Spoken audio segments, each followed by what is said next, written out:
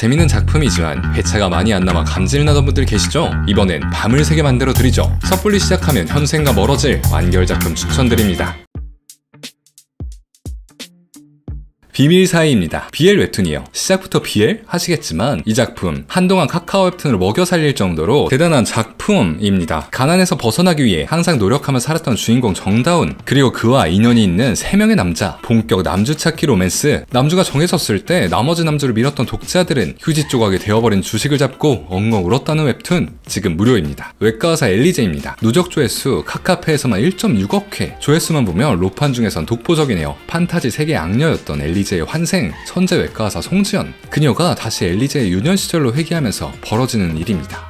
외과 의사 때 얻은 지식을 활용해 외상을 입은 사람을 치료하고 곧 있을 전염병을 방지하여 많은 사람을 구합니다. 로맨스보다 의학 먼치킨 스토리 위주라 보시면 됩니다. 개연성의 문제는 좀 있지만 그래도 술술 읽히는 작품입니다. 오필리어가 공작가를 벗어나지 못하는 이유입니다. 주인공 오필리어는 엄마의 재혼으로 아르피드 공작가에 살게 되지만 엄마는 신혼여행을 가는 길에 죽고 맙니다. 그렇게 공작가에서 홀로 살게 되면서 벌어지는 일입니다. 추리와 스릴러 그리고 로맨스가 합쳐진 특이한 작품입니다. 물론 완벽한 추리소설 느낌은 아니지만 하지만 미스터리가 꽤 흥미롭고 집착남주 알렉산더의 매력도 맛있으니 이런 장르 좋아하시면 먹어보세요. 이건 명백한 사기 결혼이다 입니다. 가문을 살리기 위해 계약 결혼을 결심한 주인공 레이린 F랑 그런데 뭣 모르고 악의 화신이라 불리는 벨리스 칼리어드와 결혼하면서 벌어지는 일입니다. 로맨스 판타지의 정석입니다. 로맨스 있고 갈등 반전 골고루 버무러진 명작이죠. 실력의 분들 중에선 안 읽으신 분이 없지 않을까요? 이게 봉황의 사이입니다. 이 작품 진짜 숨겨진 명작입니다. 과거 사람이 아닌 신랑 봉과 결혼한 여자가 있습니다. 그리고 여자는 황, 둘은 봉황입니다. 여자는 결국 죽지만 신랑은 다시 태어나 자신을 만나달라고 했죠. 신랑은 여자의 집에 찾아가 돈을 주며 대가 끊기지 않게 도와주는 대신 여자의 환생이 나오면 자신에게 보내달라고 했습니다. 하지만 욕심 많은 집안은 여자가 나오면 모두 죽였고 결국 남 쌍둥이인 줄 알고 나왔던 최지한 한 명만이 남았습니다. 그녀는 운명대로 봉을 만나면서 이야기가 시작합니다. 동양 판타지 로맨스입니다. 차갑지만 여주 앞에서만 수줍고 귀여운 남주, 우리나라 설화가 섞인 설정도 너무 좋습니다. 레이디 비스트입니다. 있습니다. 황녀로 태어났지만 외롭게 살아온 엘리사 그란디아 그리고 부모의 방치 아래 큰 진저 그웬 정략혼을 한 둘의 몸이 바뀌면서 벌어지는 일입니다. 처음 분위기만 해도 상처 많은 둘의 과거가 나오면서 진지한가 싶더니 보면 볼수록 웃기고 귀여운 작품입니다. 카리스마 있는 그웬이 갑자기 수줍어지고 소심했던 엘리사가 거칠어지며 벌어지는 일 당이도의 순수 버전이니 꼭 한번 읽어보세요. 나도 있어 근육입니다. 이건 로파는 아니에요. 필라테스를 하는 작가의 일상툰입니다. 그런데 너무 귀엽고 재밌어서 가져와 봤어요. 특히 필라테스를 해보셨던 분들이라 면 보시면 공감이 가실 겁니다. 저는 이걸 보고 운동을 열심히 해야겠다는 생각이 들더군요. 운동 욕구를 올려주는 작품 거북목 여러분 한번 봐보세요. 아비무쌍입니다. 무림고수의 제자지만 자신이 얼마나 강한지 모르는 노가장. 그는 아빠가 되었지만 아내를 잃었고 남은 자식을 지키기 위해 싸우는 이야기입니다. 정통 무림입니다. 무림을 좋아하신다면 꼭 보시면 좋을 작품. 그림도 정말 잘 그리세요. 섣불리 클릭하지 마시기 바랍니다. 네이버의 꾸금 웹툰 1을 줄게 그리고 비즈니스 여친입니다. 둘 다 완결 작품이요. 먼저 1을 줄게 그냥저냥 끝나는 연애 말고 이제 마지막 사랑이 하고 싶은 하늘 그런 그녀의 몸에 갑자기 생긴 숫자 1 이거는 남은 연애의 수를 말하는 걸까요? 그런데 어느 날 맞은편 사무실에 이사온 해림이라는 남자와 깊은 관계가 되는데요. 그리고 비즈니스 여친 재벌의 삶을 살다가 한순간에 평범한 삶을 살게 된 루나 여친 대행 알바를 하다 만난 성형과 사랑에 빠지면서 벌어지는 일입니다. 한치 앞을 예상할 수 없는 스토리 그리고 반전 이것도 흡입력이 꽤 높은 작품이죠. 네이버에서 쉽게 보기 힘든 야한 작품 스토리나 텐션 모두 좋으니 봐보세요. 참고로 지금은 모두 무료 마른 가지의 바람 사람처럼입니다. 남편과 아이도 잃고 늙은 귀족과 살다 생매장이 될 예정인 리에타, 그녀를 구해준 건 악시아스 킬리언, 그리고 둘은 사랑에 빠집니다. 로맨스 분량 적당하고 미스터리 분량 적당하고 설정 아주 좋습니다. 해빙안이 아니고 성력, 요마가 존재하는 판타지 세계예요. 그래서 전체적으로 어두운 분위기, 작화로 그 부분을 잘 살려줬죠. 물론 로맨스 부분에선 달달하다는 거 심리 묘사를 천천히 짚어주면서 둘이 왜 사랑에 빠졌는지 자세히 보여줍니다. AI가 세상을 지배한다면입니다. 이거 아직 안 보셨다면 당장 달려가서 보시기 바랍니다. 추천해서 실패 실패한 적이 없는 명작, 기술이 발전한 세상, 사람과 AI가 공존하는데 AI와 관련된 사건을 옴니버스 형식으로 보여줍니다. 과학 미스터리 옴니버스.